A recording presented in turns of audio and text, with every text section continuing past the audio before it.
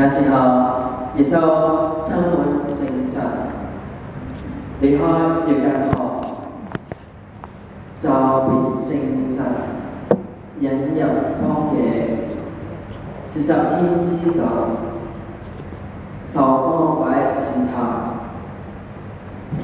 耶穌在那段日子，什么也沒有吃，過了那段日子就餓了。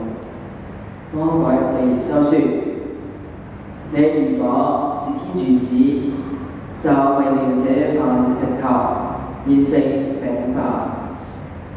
耶穌回答說：經上記載，人生活不止靠餅。魔鬼引耶穌到高處，頃刻間把好晒難過指給耶穌看，並對耶穌說：這一切權勢及極榮華，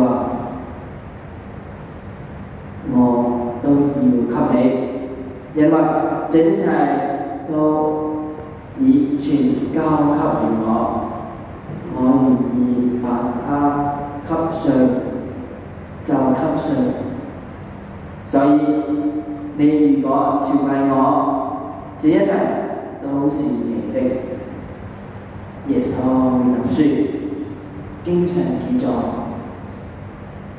你要朝拜神主你的天主，唯獨奉侍他。魔鬼又引耶穌到耶路撒冷，把他放在聖殿頂上，向他說：你如果是天主子，就從這裡跳下去吧，因為天神記載，他為你吩咐了自己的天使保護你。他要用手托着你，免得你的腳絆在石頭上。